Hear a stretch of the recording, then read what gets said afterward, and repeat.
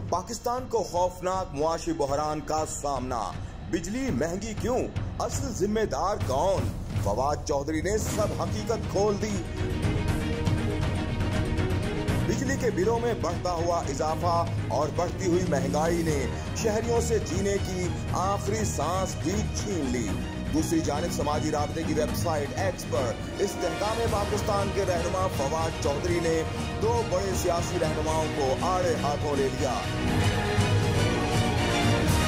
चौधरी ने बिजली महँगी के जिम्मेदार नवाज़ शरीफ और सरदारी को करार दे दिया।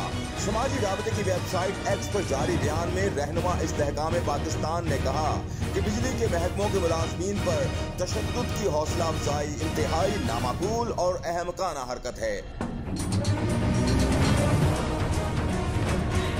महँगाई के जिम्मेदार नवाज़ शरीफ और जरदारी हुकूमतें हैं। जिनकी वजह से आज पाकिस्तान को खौफनाक मुआशी बहरान का सामना है।